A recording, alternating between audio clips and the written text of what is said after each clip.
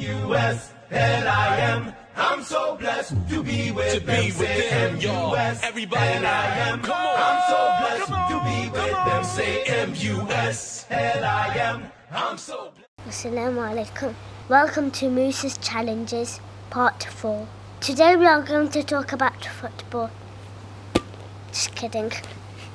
This Ramadan, the fasting days are really long. Sometimes we feel really tired and don't even want to help out much. But this Ramadan, I'm challenging you to make a little bit of effort to help your family, to help prepare the food for iftar. Don't leave it just to mum.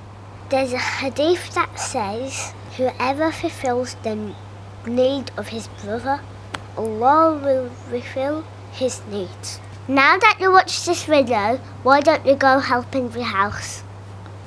Make sure you share with your friends on YouTube, WhatsApp, Twitter, and everything else.